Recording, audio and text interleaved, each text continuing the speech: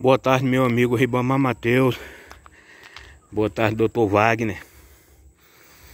Eu tô vindo aqui do São Gregório, atendendo aqui um pedido desses moradores aqui, dessa primeira rua de quem vem do São Gregório. Ela tá interditada faz dias.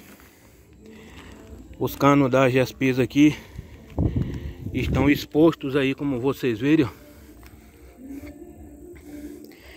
E por esse motivo, a Gespisa emendou o cano que os carros quebraram um dia desse. E aí os moradores interditaram a rua para não ficarem sem água. Então tá aqui, ó. Nessa primeira rua aqui, quem vem aqui do São Gregório aqui para a cidade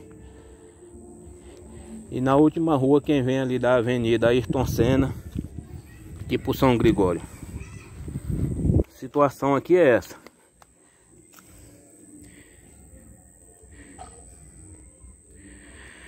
Tudo que eu mostro para o Ribamar Mateus, ele disse que estamos no inverno e que não pode fazer nada. Que se eu soubesse um milagre de resolver isso aqui para me ensinar para ele, mas aqui não tem milagre não, Ribamar Matheus. Aqui tem força de vontade e de querer fazer.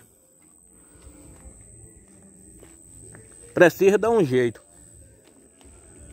O pessoal é que não pode ficar nesse isolamento a vida inteira porque estamos no, no, inverno. Os engenheiros é quem caçam um jeito de achar uma solução para isso aqui. Eu não sei fazer milagre também.